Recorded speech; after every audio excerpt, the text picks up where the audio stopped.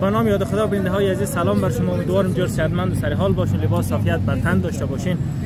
از آن دل در کنار برادر گرامی و ارزشمند ما جناب رفعت.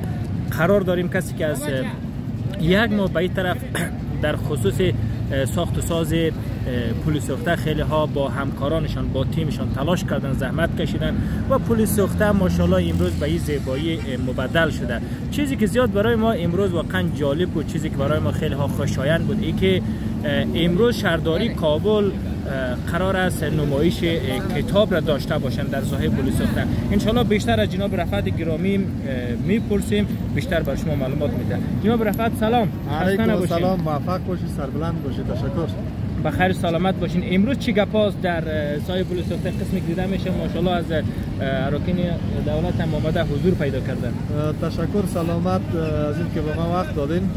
امروز ما در پلان مایی است که امروز همی خاطرات تلخ و خاطرات سیاه خاطراتی که در ذهن مردم مانده و هر جا یاد می‌کنه که اینجا عزیزان خود عزیز دادن و یا اینجا عزیزانشان مبتلا و یک مرض شدن که ما از اون بسیار رنج میکشیدیم درد میکشیدیم و اهالی این منطقه بسیار شکایت داشتن.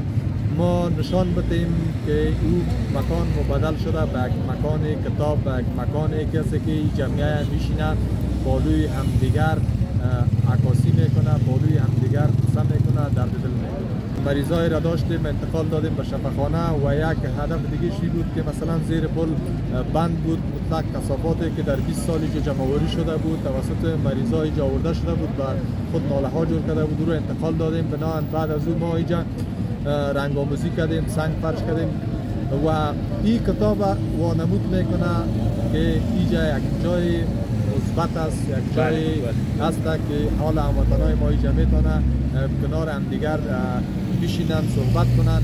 و اینجا یک مقصد دیگه ما ای است که اینجا ما از تمام اقوام از تمام قشر 34 ولایت بگویم. به اصطلاح هم کلگی می‌فهمن اینجا جمع میشه که ما نشان بدیم که ما قوت و برادری ما محفوظ است حفظ است و ما یکی هستیم یک پشت هستیم در چیزی که متاسفانه در افغانستان کمرنگ بوده فرهنگ مطالعه و کتابخوانی بوده.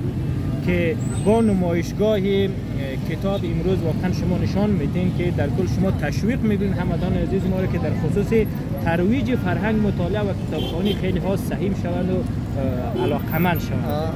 اساس اساس کتاب اساس مطالعه اساس یعنی نشان دادن مطالعه کتاب به این مناست که ما یک یک کسی هستیم که ما علاقه داریم به کتاب. بنان هر کسی اگر کتاب مطالعه می‌کنه یعنی به این معناست که ذهنش روشن است طرز تفکرش نسبتا با کسی که کتاب مطالعه نمی‌کنه خوبتر است خوب کار می‌کنه و دوراندیش می باشه و وطن دوست می باشه کتاب نیست که مثلا اشاره به همپذیری و آبادی و مثلا پیشرفت نشده باشه. بنان ما این این برنامه را که جور کردیم به خاطر از اینمی که همین همه اتفاقات منفی از اذهان مردم که چیزی که در آن در مردمی که در است و آن در مردمی که در خارج است و آن در مردمی که متعلق به کشور ما نیست یک پیام مثبت را نشان میده که ما از همچون تاریکی به مرور زمان از تاریکی بیرون می‌شویم. ماشاءالله. ماشاءالله. موفق باشید سلامت باشید موفق باشید سلامت تشکر و سپاس از حضور شما. همچنان از آن بیننده و شنیده به امیدی که در افغانستان عزیز ما همواره آبادانی پیشرفت ترقی و تعالی به وجود بیاید. به امیدی که فرهنگ مطالعه هرچی بیشتر از پیش تقویت پیدا بکنه. به امیدی که هر روزی که میگذره به سوی روشنایی در حرکت باشین. و خیر و سلامت باشین. روز روزگارتان خوش باد ان